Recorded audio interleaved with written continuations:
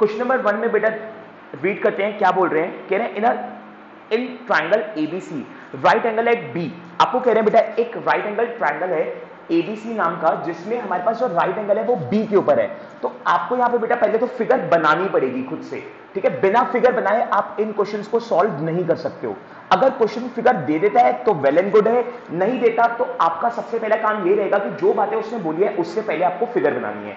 अब फिगर कह रहे हैं कि ट्राइंगल है एबीसी जिसमें राइट एंगल बेटा बी पे है। तो याद रखना बेटा राइट एंगल अगर बी पे है तो 90 डिग्री जो है ना, वो बी के ऊपर आएगा। अब बचता है ए और सी अब यहाँ पे हमारे पास ए और सी है बेटा। अब आपकी चॉइस है ए किसी को भी मान लो सी किसी को भी मान लो। जैसे मैं इसको ए मान लेता हूँ, इसको सी मान लेता हूँ। ठीक है? आपकी चॉइस है बेटा, आप किसी भी तरीके से इसको कर सकते हो। अब ध्यान से देखो बेटा आगे। कह रहे A B equal to twenty four centimetre and B C equal to seven centimetre तो ए बी जो है बेटा, ये मेरे को ट्वेंटी फोर सेंटीमीटर दिया हुआ है। और सी मुझे सेवन सेंटीमीटर दिया हुआ है। सेवन सेंटीमीटर दिया हुआ है। अब कह रहे हैं डिटरमाइन करो sine A cos A sine C cos C मतलब चार अलग अलग चीज़ें निकालने के लिए बोल रहे हैं। बट पहला पॉइंट तो मेरा ये रहेगा यहाँ पे बेटा कि आपको इस ट्रायंगल में ए बी तो दे दिया है बी सी भी दे दिया है। ए सी तो दिया ही नहीं है। एसी तो आपको दिया ही नहीं है। तो अब आपको यहाँ पे पहले क्या करना पड़ेगा बेटा? पहले आपको यहाँ पे पाइथागोरस थ्योरम लगानी पड़ेगी बेटा, और पाइथागोरस थ्योरम से पहले आपको एसी निकालना पड़ेगा। तो आप यहाँ पे लिखोगे बेटा by using Pythagoras theorem. Formula बेटा, हमारे पास हाइपोटेन्यूज का स्क्वायर इक्वल्स टू परपेंडिकुलर का स्क्वायर प्लस बेस का स्क्वायर सो हाइपोटेन्यूज बेटा, ये 90 के सामने वाला मेरा हाइपोटेन्यूज होता है बेटा। तो ये मुझे दे नहीं रखा। तो इसका नाम क्या बेटा एसी यहाँ मैं लिख दूँगा एसी का स्क्वायर इक्वल्स टू अब हमारे पास है बेटा परपेंडिकुलर और बेस मैंने आपको बेटा परपेंडिकुलर और बेस कैसे लेते हैं, वो आपको बताया हुआ है. बट पॉइंट ये है कि अभी आपको यहाँ पे ना उस बारे में नहीं सोचना कि परपेंडिकुलर क्या होगा और बेस क्या होगा. अभी आप जस्ट किसी को भी परपेंडिकुलर मान लो और किसी को भी बेस मान लो. दोनों एक ही बात होती है बेटा. अभी आप इन दोनों में से किसी को भी परपेंडिकुलर मान लो, किसी को भी बेस मान लो.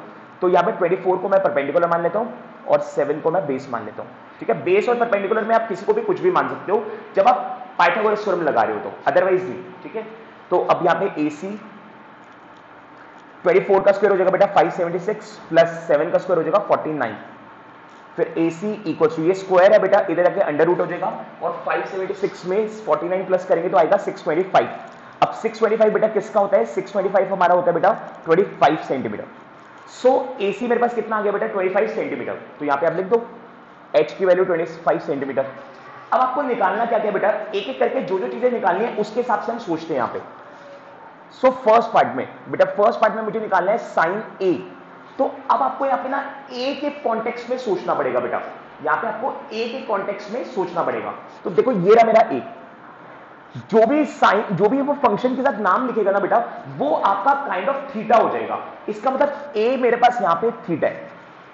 अब अगर आपके पास ए थीटा है बेटा तो फिर परपेंडिकुलर कौन होगा? फिर परपेंडिकुलर होगा मेरा सेवन और बेस होगा मेरा ट्वेंटी फोर ध्यान से देखो बेटा ए के कॉन्टेक्स्ट में अगर आप बात करोगे तो ए के कॉन्टेक्स्ट में परपेंडिकुलर हो जाएगा सेवन इसके सामने वाला और बेस हो जाएगा ट्वेंटी फोर इस चीज़ का ध्यान रखना बेटा। तो अब फॉर्मूला क्या बेटा? साइन का फॉर्मूला होता है पी बाय एच अब क्योंकि बेटा आप यहाँ पे ए के कॉन्टेक्स्ट में बात कर रहे हो तो ए के कॉन्टेक्स्ट में पी है मेरे पास बीसी पी है मेरे पास बीसी और एच मेरे पास क्या बेटा? एच है मेरे पास एसी अब वैल्यूज़ पुट कर दो। बीसी की जगह आ जाएगा बेटा सेवन और एच की जगह आ जाएगा एसी की जगह आ जाएगा ट्वेंटी फाइव अब यही आपका आंसर हो जाएगा। अगर ये कैंसिल हो जाए तो कर दो। नहीं हो रहा तो यही आपका फाइनल आंसर हो जाएगा। अब इसी में उसने आपसे कॉस ए भी मांगे बेटा।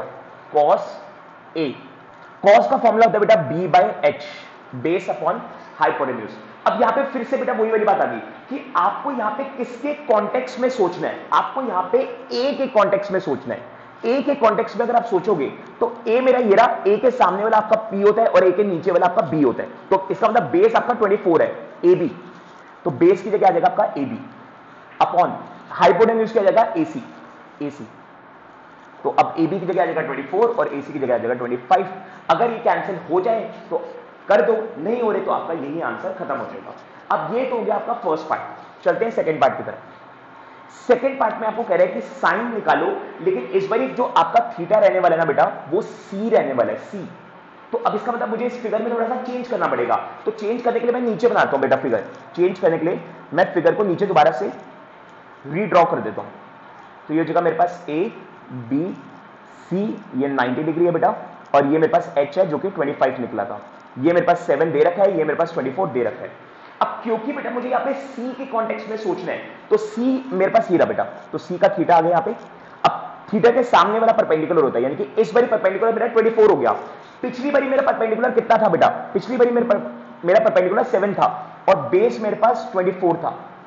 जब मैं ए के कॉन्टेक्स्ट में सोच रहा था अब मैं सी के कॉन्टेक्स्ट में सोच रहा हूँ तो अब मेरा परपेंडिकुलर 24 हो चुका है और बेस मेरे पास अब कितना हो चुका है बेटा? 7 हो चुका है। बस फॉर्मूले में लगाने थे बेटा साइन का फॉर्मूला क्या है? साइन का फॉर्मूला तो एक ही रहेगा पी बाई एच चाहे आप ए के कॉन्टेक्स्ट में सोचो, चाहे आप सी के कॉन्टेक्स्ट में सोचो साइन का फॉर्मूला तो यही रहेगा, बेटा पी बाई एच लेकिन वैल्यूज़ बदल जाएँगी। तो अब वैल्यूज़ देखो क्या हो जाएगी। अब आपका सी के कॉन्टेक्स्ट में परपेंडिकुलर ए बी हो चुका है आपका। तो A B upon A C yes so A B है बेटा 24 और ए सी आपका ट्वेंटी फाइव ये आपका बेटा साइन का हो गया। अब इसी तरीके से आप किसका निकालोगे बेटा? इसी तरीके से आप कॉस का भी निकाल लोगे कॉस सी तो फॉर्मूला होता है B by H so B अब आपका बेटा बेसी हो चुका है। यस yes, बेटा। बीसी और A C so seven upon twenty five ये आपका आंसर हो जाएगा।